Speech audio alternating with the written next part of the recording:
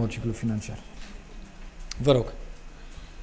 Premierul declara la începutul săptămânii trecute în fața miniștrilor că după sărbătorile pascale urmează să fie făcută o analiză și se va discuta cu fiecare ministru în parte cu privire la activitatea de la minister. Au început aceste demersuri având în vedere întoarcerea din Da. mini-vacanță? Astăzi a fost o discuție și pe acest subiect cu unii dintre miniștri.